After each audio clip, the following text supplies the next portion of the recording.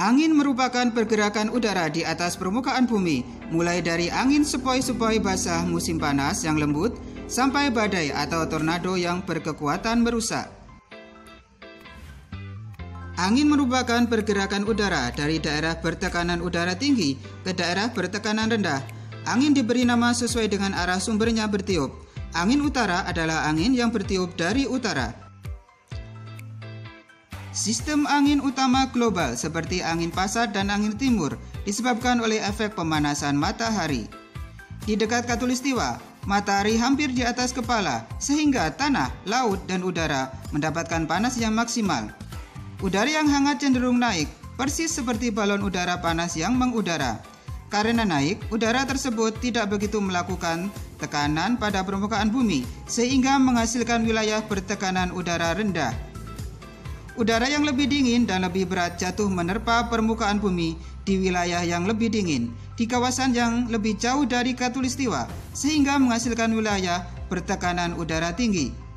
Udara yang lebih tinggi dan berat bergerak di atas permukaan bumi dari wilayah bertekanan udara tinggi menuju wilayah bertekanan udara rendah dan terciptalah angin.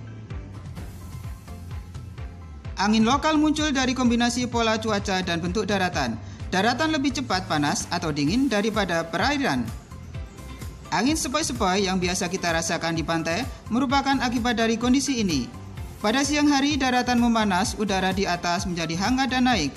Lalu udara yang basah bergerak dari laut sehingga terciptalah angin laut yang dingin. Pada malam hari, daratan cepat mendingin, udara di atas turun dan menyebar sehingga menghasilkan angin pantai yang sepoi-sepoi. Angin lokal yang lain terbentuk di sekeliling pegunungan, khususnya di tempat-tempat yang memiliki gletser. Pada malam hari, udara yang dingin dan berat menyelubungi lereng gunung dan lembah, kemudian keluar melewati dataran rendah sekitar. Angin puyuh merupakan sistem angin ribut yang berputar dan terbentuk di atas laut tropis yang hangat. Angin puyuh dapat melintas sejauh 1000 km. Dengan dinding melingkar, awan badai yang menjulang hingga 16 km di udara. Angin di balik balutan awan itu dapat mencapai kecepatan 300 km per jam. Angin ribut biasanya bergerak melintasi lautan pada kecepatan sekitar 25 km per jam. Ketika mencapai daratan, angin puyuh dapat menimbulkan kerusakan hebat.